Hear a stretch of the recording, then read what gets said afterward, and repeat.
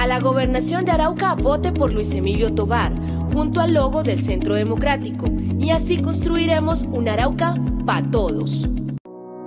A la gobernación de Arauca vote por Luis Emilio Tobar, junto al logo del Centro Democrático, y así construiremos un Arauca para todos.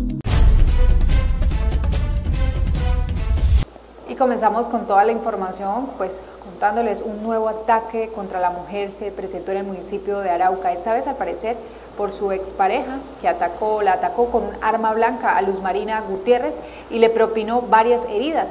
La mujer se debate entre la vida y la muerte en, en el hospital San Vicente de Arauca.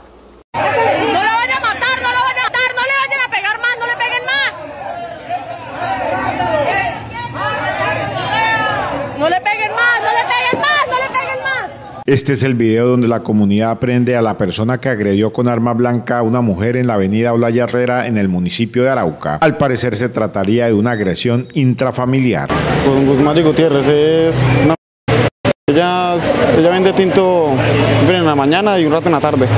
Normalmente pues yo le estaba escribiendo a mediodía, me dijo que iba a salir a, a trabajar, a vender tinto.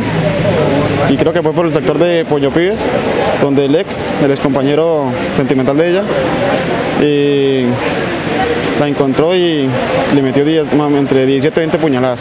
Según las personas testigas y amiga de la mujer, ellos llevaban aproximadamente dos meses que no convivían. No, no convivían, hacía más o menos dos meses que no convivía. Él la, venía, la venido amenazando ella estaba trabajando para irse ahorita el fin de semana, para pues calmar las cosas y luego pues volver otra vez. Pero él, incluso él había hablado con ella que no se iba a meter más con ella y me ha dicho a mí también que no se iba a meter más con ella hace dos días. Y pues ella se confió de eso y pues salió a trabajar normalmente y mire lo que pasó. Según un amigo de la mujer quien recibió varias heridas con arma blanca, es de nacionalidad venezolana. Ella es venezolana. ¿Y él, él es colombiano. La mujer que recibió el ataque al parecer de su expareja en la avenida Olaya Herrera fue identificada como Luzmari Gutiérrez. La muchacha se llama Luzmari Gutiérrez y el muchacho creo que se llama Schneider. También la mujer venía siendo extorsionada con una foto íntima por parte de su expareja. Sí, o sea, yo le digo, yo tengo unos capturas que ella me envió donde él donde él que la, amenazaba, la amenazaba, la distorsionaba, eh, eh, que si no le, le devolvía el teléfono iba a regar una foto que tenía publicada él, que le iba a publicar en redes sociales, una foto pues íntima. Y bueno, eso es lo que le puedo contar.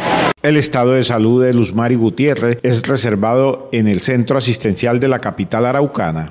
Que pues es tantico delicado que entrar a la cirugía. esperemos, dejamos a la mano de Dios que todo salga bien. La comunidad logró aprender a la persona que agredió a la mujer y lo entregaron a las autoridades. Eh, pues lo que me dicen es que lo tienen en una URI, está detenido. Es el último que me dijeron. O sea, la comunidad lo... Sí, la, la, comunidad como que lo, lo cogió y lo capturó y y pues lo entregaron a la policía. La mujer se encuentra en el Hospital San Vicente de Arauca donde se debate entre la vida y la muerte.